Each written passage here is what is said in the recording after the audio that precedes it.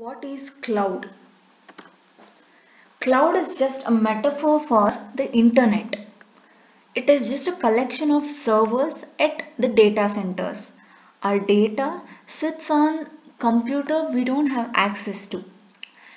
It is the ability to host a software platform or service from remote location that can be freely accessed and used anywhere via internet.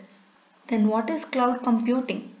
It means storing and accessing data and programs over the internet instead of your computer's hardware.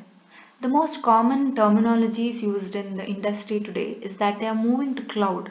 It means that their IT infrastructure is stored off-site at a data center maintained by a cloud provider. So that's what it means when they're saying they're moving to cloud. So when you're moving to the cloud, your data is stored at a data center and the cloud provider has some set of responsibilities. The first one is it has to manage your IT infrastructure and it should be able to integrate applications and it has to keep pace with the market by inventing new functionalities. Now let's see the types of cloud computing. The first one is a public cloud. It is given by a third party provider. It is available to anyone over the internet.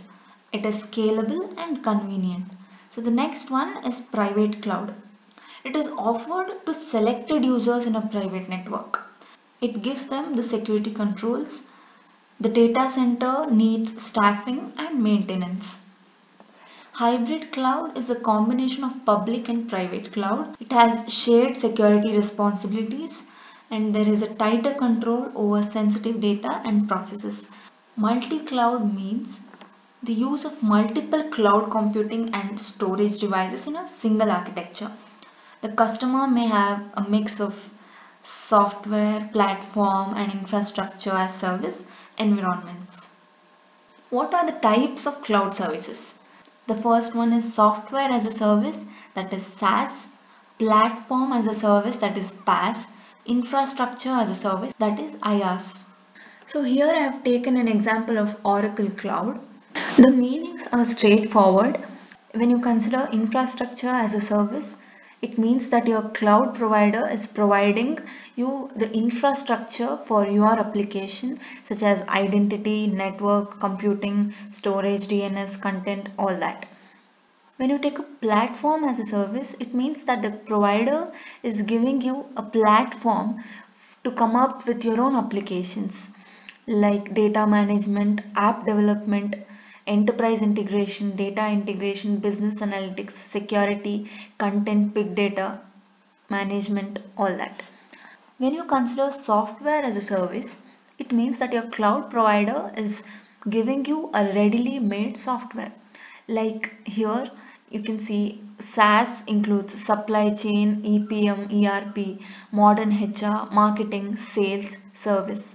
All these softwares are given to you by the cloud provider. Let's see the benefits and complications of cloud. The efficiency can be increased. You don't have to worry about where you store data, how you store data and maintaining and staffing because all those are looked after by the cloud provider. So the time and space is thus reduced. You have the flexibility over the data controls. Cost depends on the kind of cloud you're choosing for your business. So you can come up with a lot of innovations. Trust and security also depends on the type of cloud you choose. So nowadays large scale cloud solutions are coming up in the market